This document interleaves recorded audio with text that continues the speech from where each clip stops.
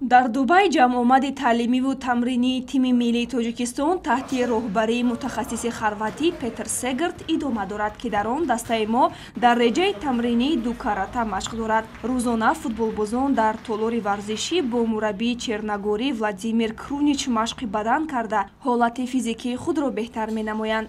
Шомгоҳон дар майдони футбол бештар ба ҷанбаҳои техникӣ аҳамият дода мешавад as you know, this is my sixth national team.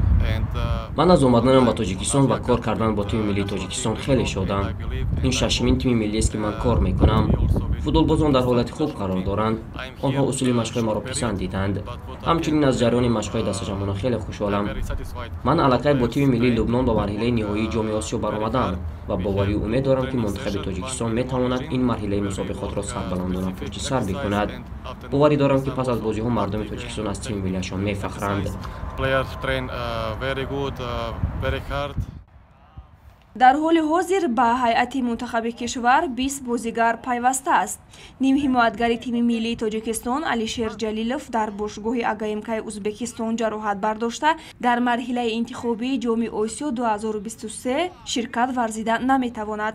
Муҳлати барқароршавии вазъи саломатии бозигар якуни моҳро ташкил медиҳад. Тибқи иттилои федератсияи футболи тоҷикистон петр сегерт ба ҷои алишер футболбози иловагиро ба ҳайат даъват намекунад панҷ легионери дигар даврон эргашев зоир ҷурабоев ваҳдат ҳанонов манучер сафар ва парвиз умарбоев рӯзҳои наздик ба даста ҳамроҳ мешаванд.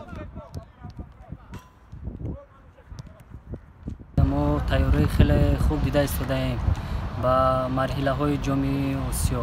Медонем ки бо мянма бозӣ карда гем бо дастаи қирғизистон ҳам бозӣ карда гем ва ҷойҳои сахттарин ва сустарини дастаро хеле хуб медонем ва танҳо бо сингапур ҳоло ягон марта бозӣ накардаем ва ин дастаро ҳоли он қадар хуб намедонем ва сармураббиҳои мо ҳоли тамоми ҷойҳои сахттарин ва сустарини ҳарифро ба мо остоста фаҳмонда медиҳанд баъди анҷоми ҷамъомади таълимиву тамринӣ дар дубай тими миллии тоҷикистон ба бишкек рафта дар марҳилаи интихобии ҷоми осиё 2023 дар гурӯҳи f се бозӣ анҷом медиҳад.